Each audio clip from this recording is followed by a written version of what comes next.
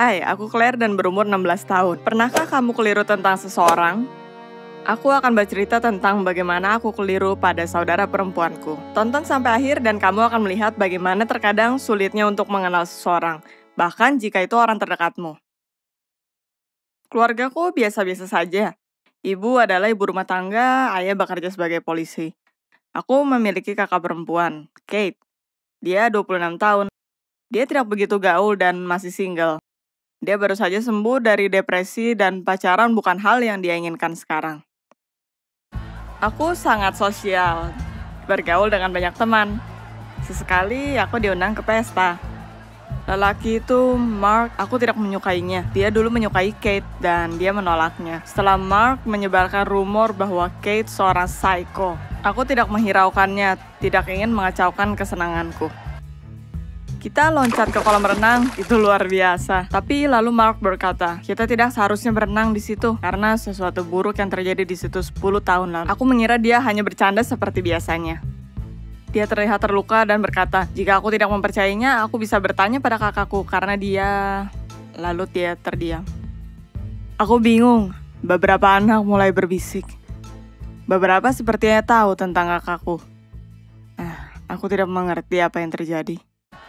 Kesenanganku terganggu, jadi aku pulang, berusaha untuk tidak memikirkannya. Keesokan harinya aku bertanya santai pada Kate tentang rumah dengan kolam renang dan apa yang terjadi 10 tahun lalu. Dia memucat dan berkata dia tidak pernah ada di sana dan tidak tahu apa pun. Aku curiga dan kebingungan.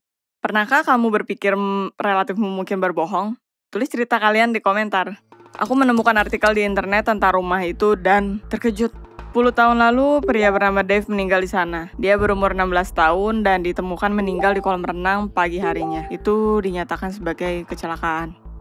Aku bertanya pada ibu tentang Dave. Dia tidak pernah bohong, dan aku berharap dia bercerita padaku. Dia menjadi sedih dan berkata tidak mau membicarakan mimpi buruk itu. Dan akhirnya terungkap, Dave dan Kate berpacaran saat itu terjadi.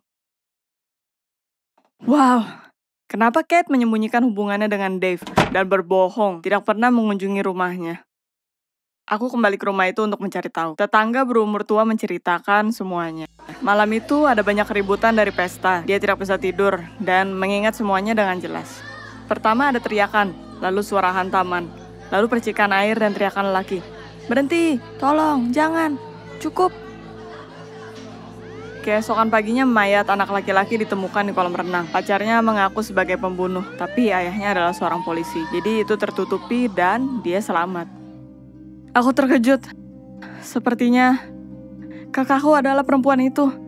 Apa Kate benar-benar membunuh Dave dan ayah membantunya supaya tidak diadili? Kakakku tidak mungkin melakukannya atau aku keliru tentang selama ini. Aku memutuskan untuk menghubungi temanku.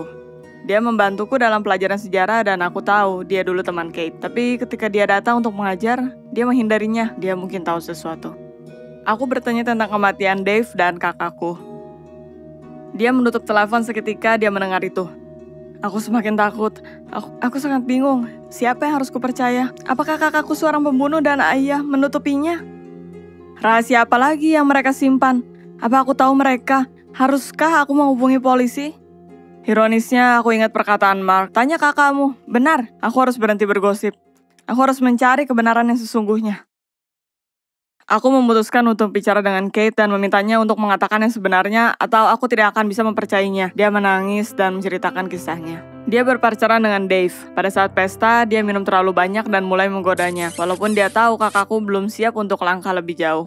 Mereka ke kolam renang untuk bicara. Dia berusaha untuk merobek baju kakakku. Kate menamparnya. Dia kehilangan keseimbangan dan jatuh ke kolam. Dia tertawa dan menyebutnya bajingan. Kate tersinggung dan pergi ke pintu. David teriak, Jangan, berhenti, cukup. Dan waktu dia ingin keluar, dia terpleset dan meminta Kate mengulurkan tangannya. Dia berpikir Dave akan melakukan sesuatu, lalu Kate pergi. Dan paginya Dave ditemukan meninggal. Mungkin karena dia terlalu mabuk untuk keluar kolam, jatuh tertidur, dan tenggelam. Kate merasa bersalah jadi dia pergi ke polisi dan mengaku bersalah. Tapi mereka tahu itu adalah kecelakaan dan membebaskannya. Ayah bahkan tidak ada di kota saat itu terjadi dan sangat ketakutan saat tahu apa yang terjadi. Kate memiliki waktu sulit setelahnya. Dia merasa depresi, tidak bisa memaafkan dirinya karena pergi malam itu. Beberapa orang masih belum memaafkannya.